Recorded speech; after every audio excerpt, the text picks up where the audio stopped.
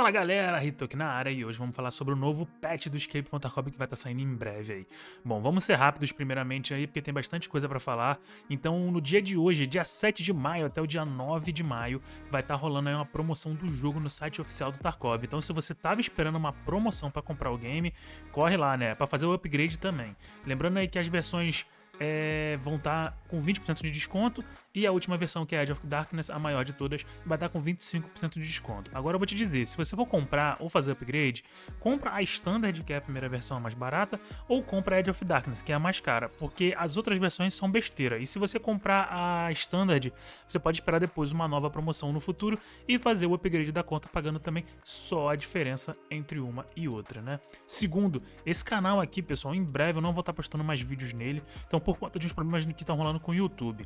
Então se inscreve no meu novo canal que vai estar no primeiro comentário desse vídeo. Se você quiser continuar assistindo meus vídeos e recebendo informações sobre Escape from Tarkov e outros jogos que eu tô sempre trazendo por aqui. Só um adendo, né? Esse feriado que vai estar rolando que eles estão fazendo a promoção é um feriado dia 9 de maio, que é o dia da vitória na Rússia, né? Comemorando aí o rendimento das tropas alemãs nazistas para a Rússia na Segunda Guerra Mundial. No ano passado, durante esse eh, feriado, a gente recebeu aí duas armas de presente, né? Que não tinham sido anunciadas nem nada, que foi a pistola 1911 e a PPSH. Né? Então pode ser que aconteça novamente aí. A gente deve ter algum updatezinho no dia 9, que é o dia do feriado. Uma vez que foi de surpresa que adicionaram as armas da última vez, então eu não duvidaria que esse ano eles façam a mesma coisa. Então vamos ao que interessa. Segundo o próprio Nikita, a gente deve ter um patch aí antes do ponto 11. E nesse patch intermediário aí, teoricamente, seria para atualizar a nova versão da Unity, mas não foi confirmado ainda. Mas pode ser também que a atualização da Unity vem no ponto 11. Então a gente não sabe. Mas uma coisa é certa, se o update da Unity sair separado, o patch.11 vem logo em seguida, porque para as novidades que vão entrar no jogo, no ponto 11, é, foi prometida a nova versão da Unity e ela é essencial para funcionar junto com essas novas funções que vão estar tá entrando no game. Então não tem como ter o patch.11 sem o upgrade da Unity. Ou ele vai ser antes para poder pavimentar o caminho, ou ele vai ser junto com o ponto 11. E na ponto 11 muito provavelmente vai ter o wipe, né? É bom saber também que a data do update a gente também não tem data de update, eles não falam mais a data de wipe, né?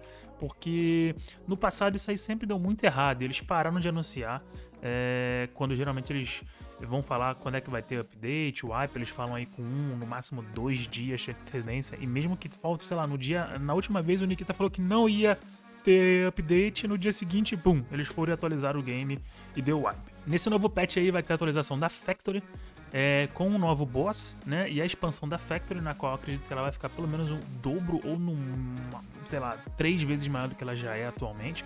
E possivelmente ela também deve ter áreas externas nessa nova Factory, né? E esse boss novo que vai entrar, o nome dele foi descoberto que o nome dele é Kovolda, né?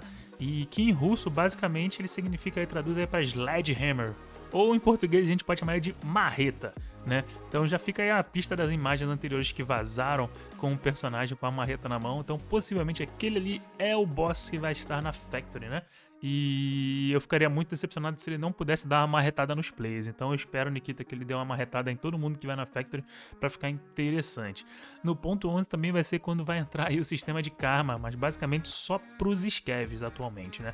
O karma dos PM6, eles não vão entrar agora. O sistema de karma de PMC vai entrar depois. A gente não tem uma data para isso ainda, mas ele vai entrar na 12.11. Foi o que o Nikita prometeu. E com isso é de sempre, né? Ele deve entrar novos equipamentos, acessórios, personagens, armas é, mas pelas conversas recentes aí, a gente deve ter pelo menos uma das armas que já foram anunciadas recentemente, como a Scar H, a SKL, a MK47 Mutante ou até mesmo a nova MP155, a Smart Gun, a Smart Shotgun, que é a shotgun que conecta no Bluetooth.